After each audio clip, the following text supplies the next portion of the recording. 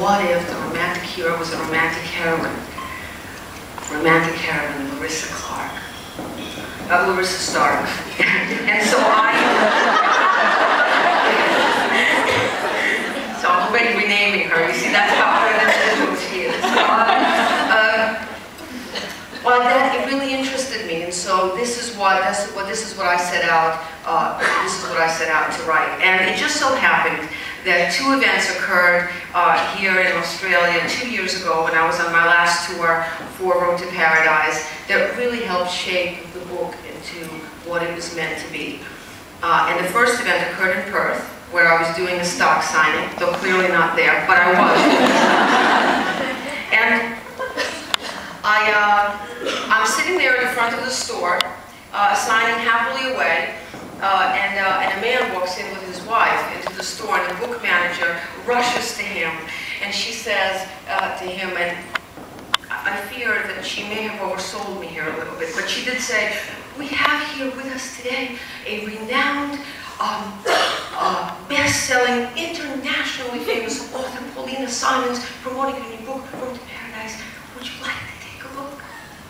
And the man, you know, he looked at her with skepticism, but he looked at me like I was a cane toad in his backyard.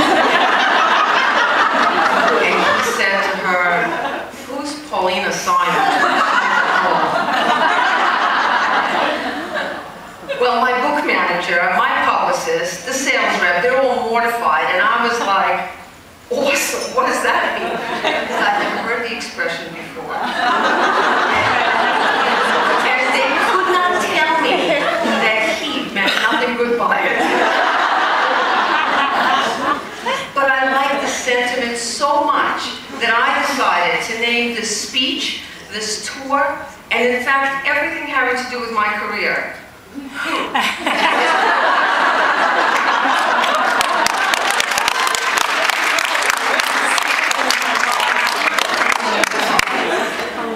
and when I come to Perth, I hope you'll listen. listening.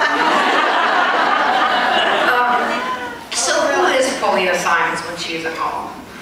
Uh, well, at home, mostly, I'm this. Picture a little bit, now it's taken in the year 2000, so clearly I'm right in the middle of the uh, of, of, my hot and heavy revisions, or uh, you know, on the, on the Bronze Horseman and its sequel. I have in front of me two cups of tea, uh, some tissues, uh, inexplicably two keyboards, um, an atlas of uh, Scandinavia and Russia, a Russian-English dictionary, a necro, because I probably has been, have been sitting in that position for 19 months, a blanket covering my, on my lap, and of course, um, uh, and of course, uh, a trusty bottle of aspirin. You can write a without a bottle of aspirin. so, this is who I am when I'm at home. Um, and I'm really grateful to the nice man for asking all the hard questions. I do feel that without him I would not have been able to crystallize so clearly the themes of my life and also of my book. Because in Song in the Daylight, Larissa Stark spends most of the book answering, or perhaps better yet, not answering that very question. Who is Larissa Stark? Jesus. And because, you know, I feel that everything in my life has meaning and everything is a sign only towards me because everything is about me. I'm in, the airport a few days ago looking for some light reading matter for the plane is speaking right to me. November 2009 issue, it says, who are you meant to be? A step-by-step -step guide to finding and fulfilling your life's purpose. 28 questions that will change the way you feel. so I said, great. Maybe after I answer those 28 questions, I won't see myself like this. in orange sweats plaid shirt, in which I wrote probably eight of my nine books. um, so I turn eagerly to the questions and I answer all 28 of them, uh, whether I'm meant to be creative or recognized or in control or uh, nurturing uh, or helpful. And you know what I found out? that I saw myself in all 28 of the questions, but also in none of them. And to illustrate this point further, uh, this is what Walker Percy, the great American Southern writer, has to say on this very subject.